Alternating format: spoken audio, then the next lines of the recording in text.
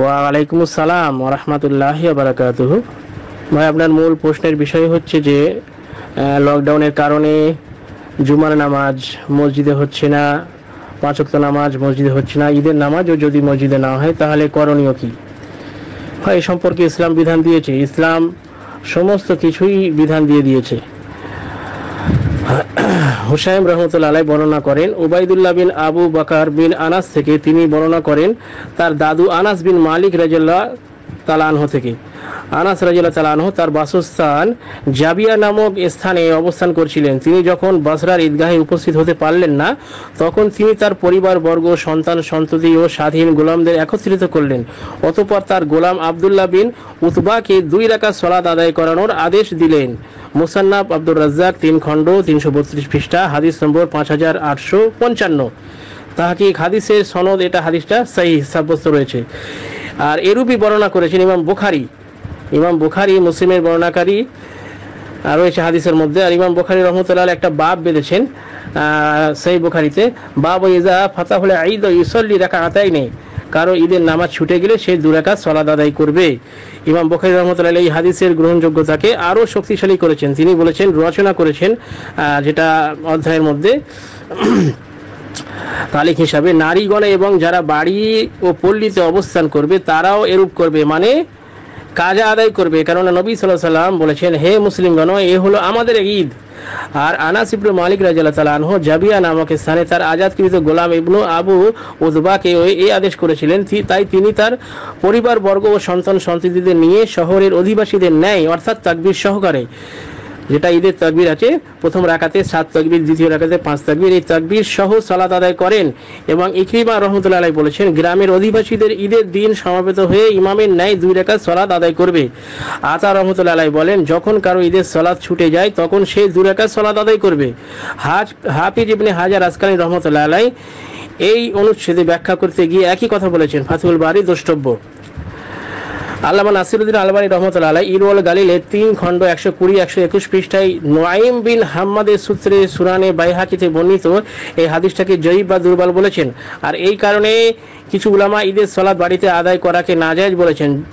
তো কিন্তু আলবানী রহমতুল্লাহ শুধুমাত্র বাইহাকি সনদকেই জয়ী বলেছেন। মুসান্নাব ইবনু আব্দুর রাজ্জাক যেটা রয়েছে, যে ঘটনা রয়েছে এবং তালিক বুখারিতে যেটা রয়েছে, এটাকে তিনি শক্তিশালী বলেছেন, এটাকে তিনি জয়ী বলেননি।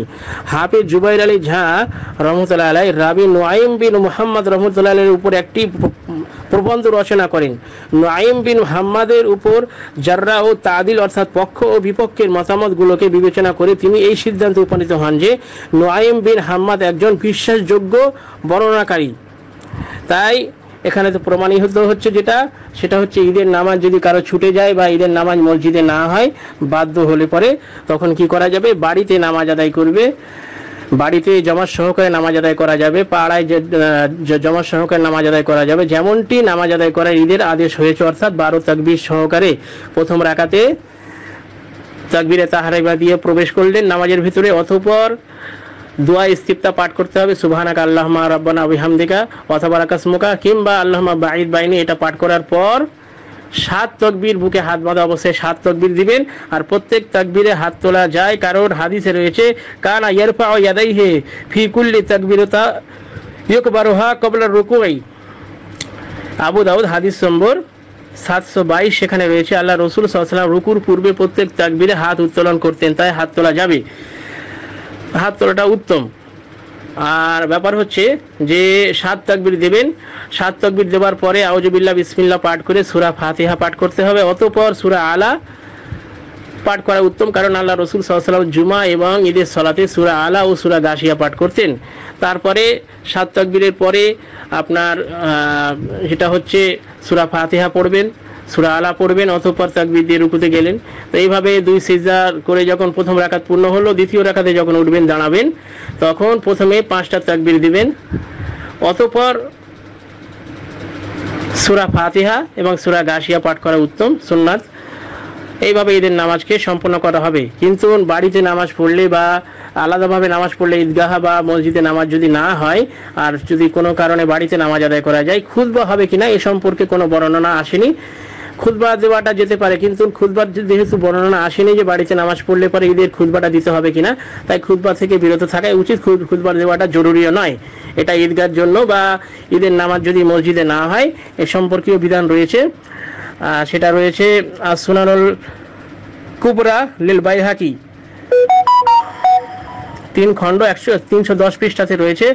ওমর রাজিয়াল্লাহ তালা আনহ বলেছিলেন, যদি কোনো মতে ঈদের দিন যদি পানি হয় বৃষ্টি হয় তাহলে ঈদগাহে নামাজ না পড়তে পারলে মসজিদে নামাজ পড়া যাবে।